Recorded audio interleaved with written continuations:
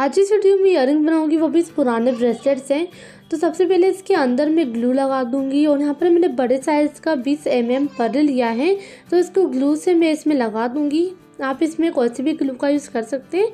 और यहाँ पर मैंने एक ही पर्ल को लगाया है तो आप इसमें मल्टी पर्ल को भी लगा सकते हैं। मतलब अंदर इसके छोटे छोटे पर्ल को थोड़ी थोड़ी दूरी पर भी इस तरह से भी लगा सकते हैं। और आप ज़रूरी नहीं कि आप इसमें ब्रेसलेट का यूज़ करें। आप इसमें ऐसे ही बना सकते हैं ज्वेलरी वायर से भी, या फिर आप इसमें जो भी बेंगल हो आपके पास, थोड़ा सा मोटा उसका यूज़ भी आप इस तरीके से कर सकते हैं।